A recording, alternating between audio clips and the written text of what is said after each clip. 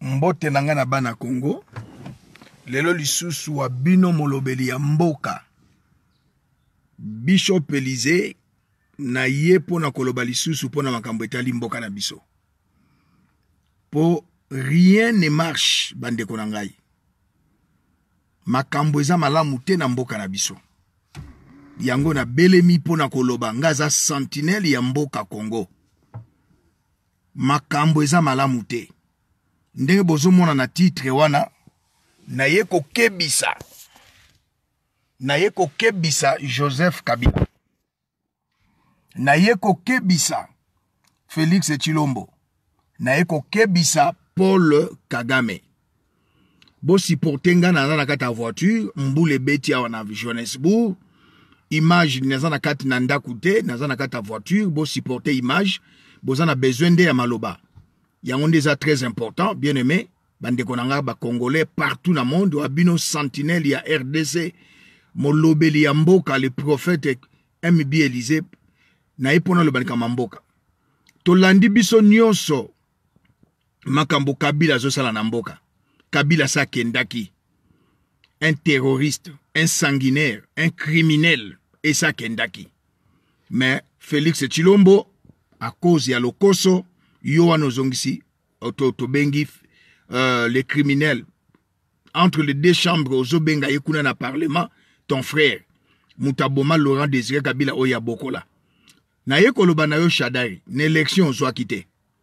naye koloba na yo joseph kabila ndenge otindi shadari aloba ete retour politique na yo joseph eza na 2020 osigne nde liwa osigne nde liwa soki bakongole bakobetelo maboko okokutana na ngai na nzela okokutana na 20 bakongole oyo baza batribaliste te oyo baza bafanatike te oyo bazali basentimentaliste te bino barwandais kabila na kagame bozosakana na 80 ya bacongolais oyo bazali basentimentaliste batribaliste mpe baignorant en politique mais tant que moi je suis vivant kabila okokutana na moto babengi bishop elise tala retour politique wana eza maloba meme bible ezoloba na biso dans le cœur de l'homme il y a plusieurs projets mais c'est le dessein de l'éternel qui s'accomplit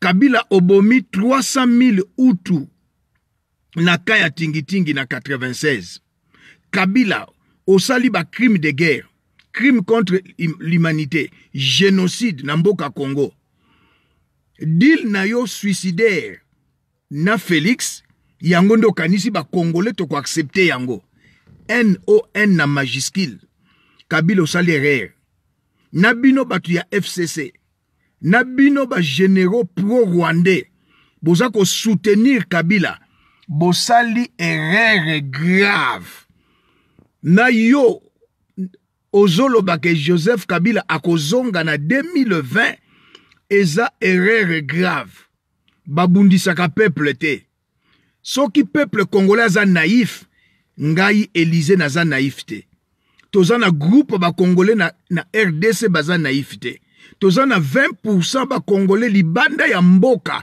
toza ba naïf te Kabila obandi komeka koleka na njili bana njili bazobetelo maboko kotambusa na bamoto Congo ekomi na republique mibale ndenge tomonaka na, na Italie Republiki ya Italie na Republiki ya Vatican oyo mokonzi ezali pape. Tokomi na Republiki de Kingakati, president Joseph Kabila, premier ministre Nehemi na ba ministre bozali kuna un, un président sortant avec 4000 milices bazokengela yo cortège na yo avec 50 véhicules kabila ya yo mbano ezali tokotikela yo espace te bandeko bo eskize nga mpo naza na kati ya voiture mbula ebeti klima eza ndenge mosusu image bosupporte boza na besoin nde ya maloba ya molobeli ya mboka sentinelle ya rdc image eza na ntina moko te naza na kati na studio moko te ube na ndako na ngai te alors oyo eza importe eza maloba oyo nazoyebisa bana congo totelema comme un seul homme 2020 kobute ko, ko fcc libanda ya mboka congo la peste ya bacongolais se joseph kabila asala alliance na ye suicidaire na oyo na, na ndeko nani aza kutu ndeko te ye mpe asali haute trahison chilombo félix c'est la haute trahison oyo asali alors tozozela bino na 2020 ba makambo nyonso eza makambo ya kolobaka na réseau sociaux te mpo boprofite tozozela retour na yo ndenge yo o, bolobi akozonga na 2020 tozozela bino na 2020 retour ya yo hippolyte kanambe alias joseph kabila tozozela retour na yo politique tala sakana na, na idps sakana na mwasi na yo politique Chilombo mais na peuple congolais te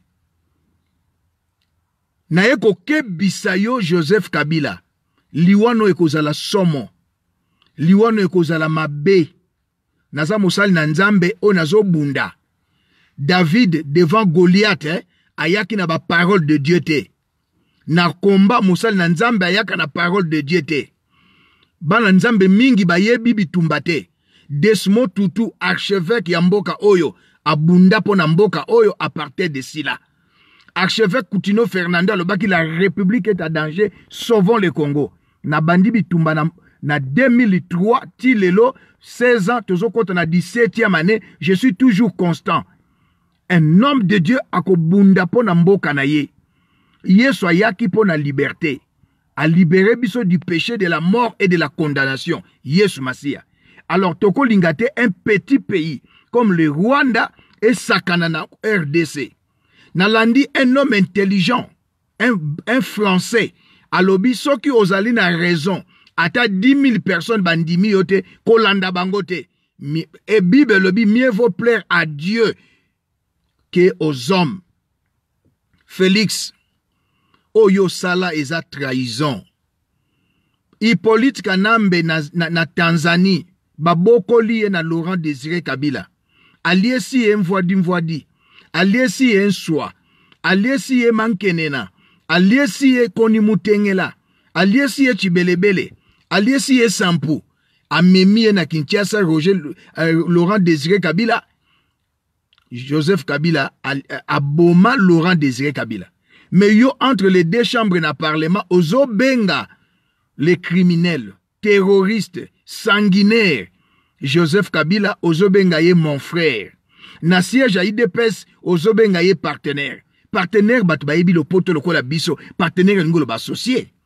oza associé à un criminel associé à un terroriste associé avec un, un, un, un, un sanguinaire terroriste et criminel lelo bakongole bazobela na kinshasa bakongole bapike bacrise bakongole bakufi makila na bango eza likolo na yo félix tshilombo moto abomi papa etienne tshisekedi atumbi siège ya akufi yo ozobenga moto ya ndenge wana partenaire oke na parlement ozoloba ke joseph et, et, mon, et ton frère mais ye abengaka ton frère abengaka oyo oza frère na ye te inane yango oyo yo soki joseph aleki na, na bareseau sociaux aleki na média alobi ke félix est mon frère mais non félix ça c'est la haute trahison otrahir mboka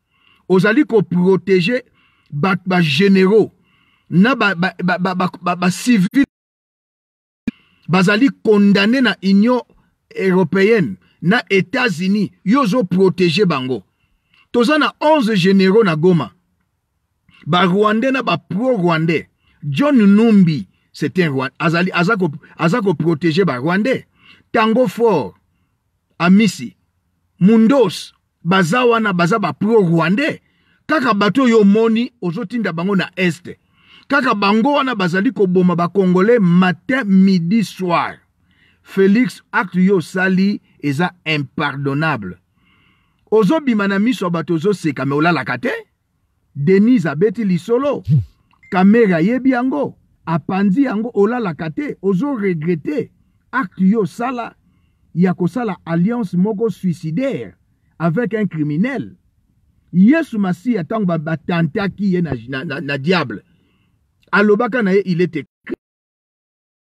ozo sala politique donc okomi oza chrétien o perdre identité na yo chrétien mpo ozo sala politique mais non lelo oyo yo okoti na baloge lelo oyo basombi yo kagame azosekisa yo na moi me na butu azotinda bato basalela yo mabe yeba yango une année alternance soki okeyi bosali feti na retour baprepare liwa na retour ba prepare liwa na yo na accident ozalaki na poto je suis la première personne ya koloba ke balingi baboma yo omonaki bapesaki yo mise en garde na, na crash oyo esalamaki na entrenove osala ata plainte te bankete mpe esalama te ozobanga hippolyte kanambe ozobanga oyo babengi paul kagame bakoboma yo baza babantu bantu abosanaka likambo facilement lombo joseph kabila se akendaki yo nde moto ozongisi ye yo nde moto oza koprotege ye oyo osali ezali haute trahison basentimentaliste ba bofinga ba traitre bofinga mais conséquence ezo eteyaka koleka conseil Felix tu as signé ta mort je ontaba oyo ba rwandais bakolia mikolo ezoya na Congo ezali yo ngo na ba rwandais Felix Chilombo bango moto oyo bakoboma ezali yo Felix Chilombo oteki Congo ba bato bapike ba crise tala congo ndenge ville ya kinshasa salite tozobenga masina chine populaire mais lelo na meme na limete quartier résidentiel bato bakoma koteka na babutike ekoma liboso ya bandako na boulevard ezo boulevard eyebanaka su teke eza ezo avenue universitaire eyebanaka lisusu te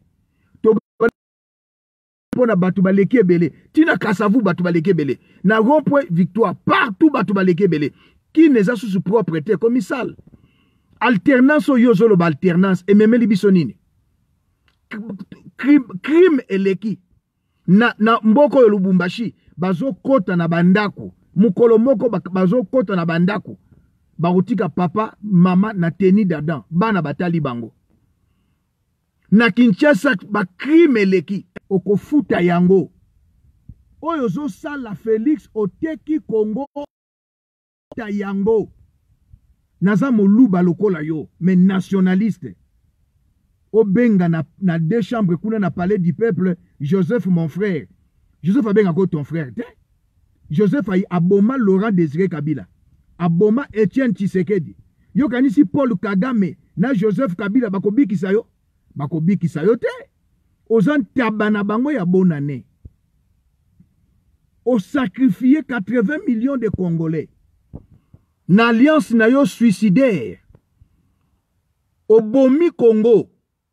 Oteki Congo. Kabila se akendaki. Mubake alobi na biso ba Congolais dauphin ya Kabila aza na opposition batu batiaki tembe lelo toza wapi? Consequence ete ya koleka conseil. IDPS ekufi. Obomi lutte ya papa Etienne Tshisekedi ya 37 ans. Obomi IDPS. Wapi palu lelo? Wapi palu? Obomi IDPS. Après ton départ, on ne parlera plus de l'UDPS. Nga naza na œil de l'aigle. Nazomona musika. Ozangisi ba peuple congolais kimia Felix. Ozali chiffon. Ozali babengi beton te. On nomme awa il y a 7 mois passés. PCA ya Jekamine. PCA ya Sen basalaka te basalaka te basalaka te opesi ordre awa babimisa colonel john chibangu basan rival bakei bandeko ne bakei babimisa john chibangu john chibangu abima john chibangu abima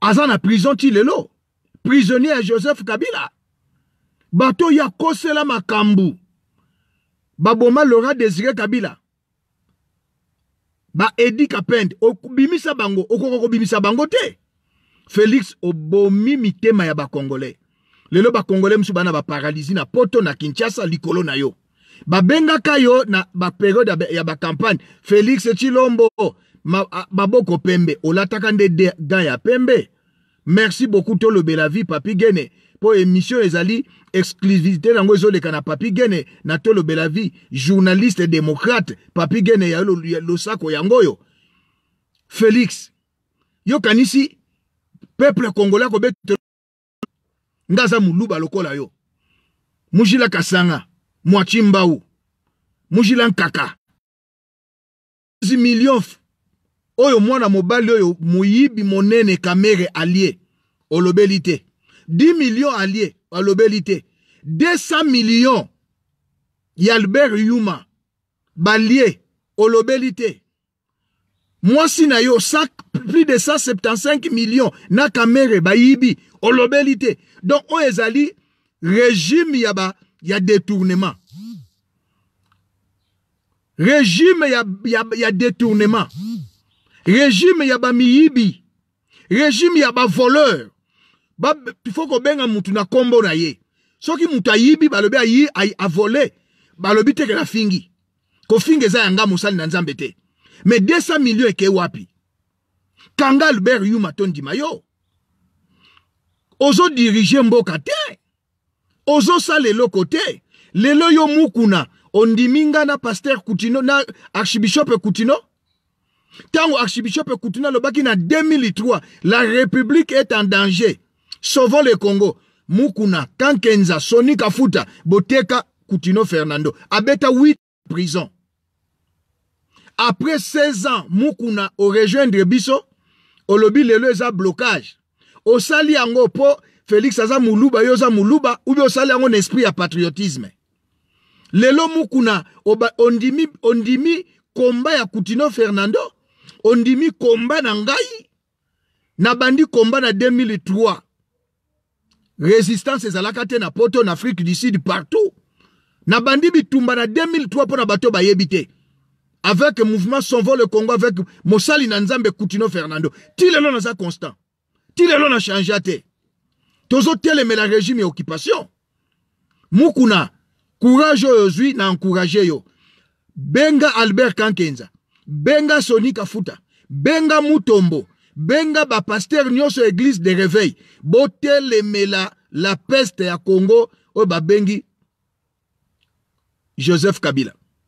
18 ans na pouvoir osali eloko te yo oyo koloba shadari na 2020 okozonga là où tu as commis des crimes contre l'humanité crime de guerre génocide bolingi bozonga tala nakoloba te bomeka bozonga bokomona makambo tokosala tozwi mayele tokoloba su bilobela te tokoloba su n'importe quoi te Mukuna na pesi yo felicitation. Je t'encourage. Evêque Mukuna. Benga General Sony Kafuta. Benga Albert Kankenza. Benga me Bangalasi. Bosangana. Ce n'est que les imbéciles qui ne changent pas. Je t'encourage Mukuna na ville Kinshasa ozui courage. Na tango Mobutu yo ndenge Mukuna uti koloba. Kabila azalaki intouchable. Felix alingi kokende ko inaugure usine ya Regie des eaux. Ba ministre ya FCC baboyi koya. So, soki so de mouton na bino alingi ko inaugure yango kuna na pompage, ba ministre baboyi koya. Mais na tango ya Kabila, Kabila aza intouchable. Bokomi kosakana na Felix. Alors lobi tokomona ba net toza na ministre ya FCC na ba ministre ya cash.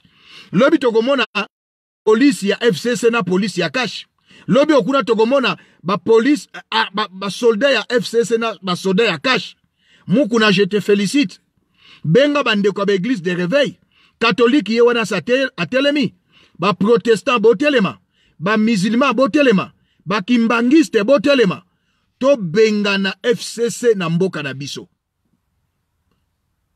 la république est en danger 2020 kagame okuta lelo mukuna orejoindre biso mukuna olobaki mosala nzambe akosala politiki te mukuna olobaki mosala nzambe akosala politiki te lelo oyo osali wana eza politiki borejoindre biso bokangisa kutino fernando nga na ya na exile likolo na bino bokangisa bishop bompere lelo oyo mukuna okomi kolobake mosala nzambe akosala olobaki mosala nzambe akosala politiki te Ah yo olobi yango po ndeko na yo moluba akomi na pouvoir.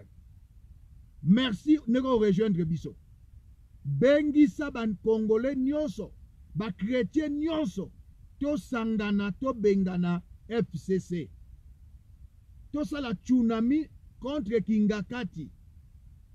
Na toza na mboko ex-president Zuma aza na ba miliciens te na Senegal ex president aza na ba miliciens te na Benin na Mali ba ex president baza na ba miliciens te Kingakati ekomi deuxième république na kati na RDC lokola na Italie Rome eza république Rome eza un pays dans un pays Rome président ezali pape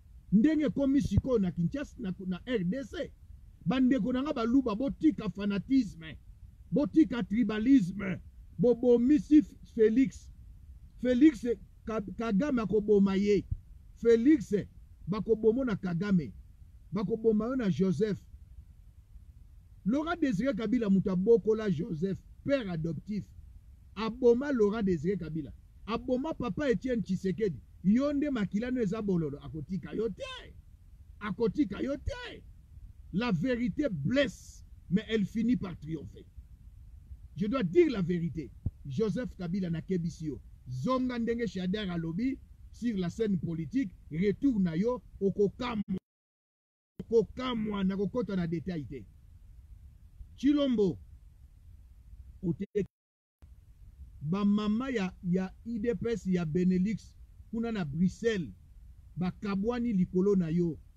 Oke na parlement entre les deux chambres na discours oyo osali ozo benga Felix ozo benga Joseph Kabila mon frère on appelle pas un criminel mon frère. De Gaulle, general de Gaulle abenga Hitler mon frère te. Nzambe na bomoi. Oyo makambo nini oyo? Kindoki elongwe na butu ekomi na moyi. Ba ndeko na nga ba kasaiens, ba ndeko na nga baluba, botika ko encourager Tshilombo. Naza muluba, mujila kasanga, mua Tshimbau, mujila nkaka mais nazali ko telemela politique ya ya Felix. A trahir lutte ya Etienne Tshisekedi ya 37 ans. A trahir udps.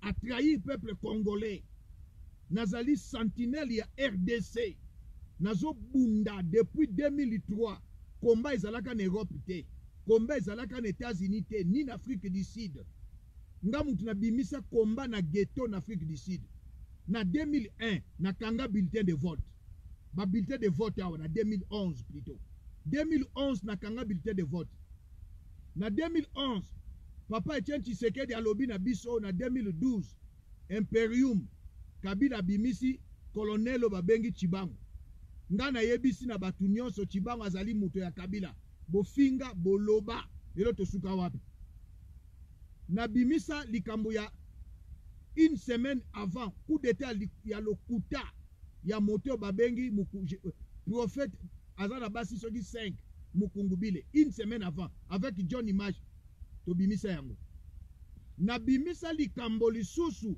kaka ngai oyo lit na ngai nazoloba makambo ngai nasala na komba nabimisa likambo balingi babeta Felix Masasi azalaki na Bruxelles bakobeta aviono Masasi baye kobeta Antonov Masasi une semaine après eza epai ya tolobela vie officielle nabimisa yango Lelo soki oke na feti ya le 24 janvier na retour ba, ba prepare accident baboma yo Felix.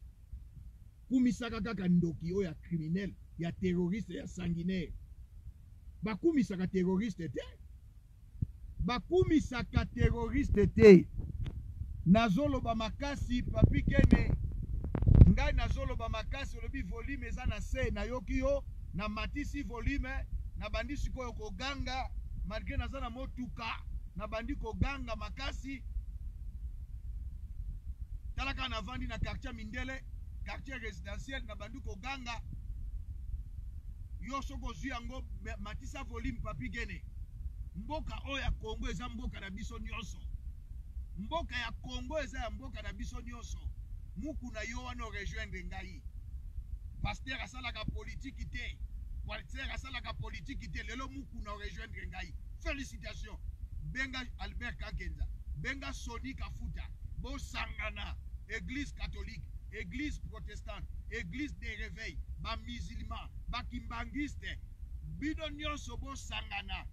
To bute dehors. FCC na mboka na biso. Ndeko Mpo na kosukisa, ndeko na ngai Muzitu, nakoyebisa yo boye, na ba Congolais, na 2012, ezali ngai nalobaki na declarer guerre sainte contre ba Rwandais. L'ambassadeur du Rwanda ya mboka oyo abenga nga. Aloba akoki koloba na bangaka ba menance te na lekaka te ko bazo menance nga non aloba azo loba aloba alobi alobi akoka ngai te na declara guerre sainte na 2012 contre ba rwandais ngai oyo bokota na general mulolo facebook na ngai bokomona yango bokende na diaspora katangaise bokomona yango Ba ndeko na nga bozo loba pona volume awa nazo ganga makasi nayebi te nasala ndenge nini ba ndeko nazo ganga makasi nazo loba kutu na se te mais nazo ganga makasi bozo komela nga volume bozo loba mingi mais nazo ganga makasi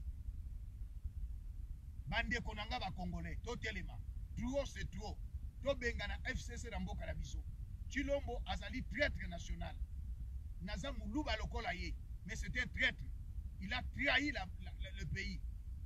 Il a trahi la RDC. Nga mutu na moto ya liboso nalobaki to attaquer tosala guerre sainte na 2012 Mende atelema a contredire nga. Bokota na Facebook beta General Mulolo natie eloko wana nalobi. Na tia na 2012 nalobaki guerre sainte contre le le, contre les Rwandais na ba metro na, na France na Belgique babeta ba Rwandais mais oyo ndeko Muzito alobi na telemeli yango mpo moto atindi ye aloba yango ezali Paul Kagame ezali Joseph Kabila bientôt bokopesa nga raison après ba fete Rwanda ko attaquer Congo baza na posa ba balkaniser Congo Rwanda ako attaquer Congo Muzitu azali pion ya Joseph Kabila na lamuka ata oboyi loba na yo finga na yo mais bokomona Rwanda ako attaquer Congo akoloba nini po Muzitu mutu alobi yango na minute oyo ba soda rwandais baza na na minute oyo basoda rwandais bakoti na Congo mokonzi ya Po ba moni ba soda rwandais ba koti na congo chef d'etat major alobi nini bo yo mutu olobi akebisi muzitu muzitu c'est un pion de paul de joseph kabila na lamuka osali declaration mbala moko oke goma goma oke beni tango okolongwa na beni na goma ale babandi koboma batu na beni tu n'es pas la première personne à dire que basala tosala guerre na rwanda c'était moi To fouiner le passe, na 2012 avec sans rival na sali emission na lobi guerre sainte contre les rwandais na Paris na Bruxelles ba bandaki ko beta ba rwandais na, na, na ba metro na ba, na, na ba metro na loba yango muzito azalaki wapi na 2000 yo muzito ozalaki premier ministre basala brassage basala brassage o permettre ba ba Rwandais ba ya CNDP bakota na armée congolaise eza yo muzitu mpo na nini congolais aza fanatique mpo na nini congolais azali sentimentaliste mpo na nini congolais azali tribaliste moi je ne suis pas sentimentaliste je ne suis pas fanatique ezala kabila ezala muzitu oyo akobeta mabe akokutana na ngai ngai aza sentinelle ya mboka Muzitu obeti mabe oza mutu ya liboso ya koloba te ke guerre contre Rwanda na loba ngo na 2012 na loba to attaque ba guerre sainte contre les Rwandais na 2012 na loba yango na 2012 Muzitu ozalaka premier ministre bazui ba soda na biso ba congolais ba, ba, ba, ba miliciens rwandais ya CNDP Muzitu premier ministre bakota na na armee congolaise mpo na nini ba interamwe bakota na armee rwandaise te mpo na nini ba adf ya, ya barebele ba, ba ugandais bakota na armee ugandaise te baopposant ya, ya, ya burundi bazonga na burundi te bomoni makambo ezoleka kuna na, na, na tanganyika ile moko eza na tanganyika kuna esika batya zoe kabila na tanganyika babandi babandi kobengana ba, ba Katangais na, Katang, na Tanganyika kuna bakati Congo biteni miteni mpo na balikanisation. Tozalaki na 11 province, bokomisi ba province ekomi 26, mai eza te, courant eza te, université eza te, botongi eloko te. Bolingi bobengana ba Congolais kuna na Tanganyika, Zoe un illettré, un bourrique, bokamata sikoyo Zoe gouverneur. Te bana Congo. Yambo nakende eglise, naleki mpo na koloba. Soki nasilisi awa nako nake eglise. Trop c'est trop. Mukuna felicitations. Je t'encourage. Ozui initiative ya bien, ozui courage. Benga Kankenza, benga Sonny Kafuta, benga Ngalasi, bo rejoindre combat ya Kutino Fernando, debout Congolais, sauvons le Congo. Bana Congo. Nakebisi Joseph Kabila. Nakebisi Tshilombo. Nakebisi yo Paul Kagame. Mussolini akufa. Hitler akufa. Le salaire du péché, c'est la mort. Les mensonges produit les fleurs, mais pas des fruits. Okosuka mabe Paul Kagame. Okokufa kala te Paul Kagame. Liwa na yo Paul Kagame eza somo. Liwa na yo Paul Kagame eza somo. Muzito oza ndeko na nga obeti mabe. Osali declaration armée na biso commandement na oyo babengi logistique na maboko ya ba rwandais ozalaka premier ministre osala brassage mixage o mixe ba rebelles ya CNDP na, na armee congolaise. Lelo toza na 11 generaux rwandais pro-rwandais na Goma. Bitumba yango tokosala en avec quelle armée? Je, Felix azo contrôler armée te. Felix ozo contrôler police te. Ozo tinda bato na poto balobake ba congolais bazonga. Banani bako sécuriser bango? la police, l'armée, service ya renseignement, bospicier généraux. Une année yango tozo kota na maboko ya Kabila. Felix oyo sali eza kindoki. Kindoki elongwe na butu ekomi na moyi. Felix bagwande bakoboma yo. Ndeko na nga Muzitu oyo sali bientôt bakoboma bato susu na Beni. Osali basala nini bakata eteni ya Congo kaka ba Rwandais oyo batindi yo Muzitu ba Rwandais wana bakoboma yo tu n'as jamais été opposant na loba yango mbala ebele Muzitu c'est un pion de Joseph Kabila dans Lamuka oza contre succès ya ndeko na yo Ah, oza contre succès ya Martin Fayulu. Martin Fayulu Muzitu azotia na berere. Muzitu c'est un sorcier. Muzitu azalaki premier ministre. Azui ba soda ya CNDP, ba Rwandais akoti bango na armée. Lelo baza ba généraux. Maloba oyo olobi ngani na lobango na 2012. Bobeta na Facebook General Mulolo bokomona ndenge Kagame abundi alobela atelemela ngai Kabila telemela ngai. Quand un ministre ya media azoloba, cela veut dire gouvernement congolais telemela ngai. Pourquoi nazonga na Congo te? Bana Congo to telema. La République est à danger. Tangu zifueni, diba dia kukumbana, sai inenea, tango ekoki. Naza na 16 ans ya lutte depuis 2003. Le pays est sous occupation rwandaise. to telema to benga na Congo muzito obeti mabe tu es corrompu bientôt le Rwanda ako attaquer Congo po ba balkaniser Congo bako koka te Congo eko ata centimètre moko ko kende te ezalaki wa bino molobeli ya mboka molobeli ya mboka le prophète King MB Elysee Boyebeli nga mingi na kombo ya Bishop Elysee. Rdc ekokendaka te. Rdc ekokendaka te. Nasuki wana. Hier c'était l'anniversaire ya président Moïse Katumbi Chapwe, président ya ya ya parti politique Ensemble pour la République. Na souhaité yo bon anniversaire président Moïse Katumbi Chapwe. C'était ton anniversaire hier. Na pesi yo ba meilleurs vœux, bonne année na équipe na yo mobimba.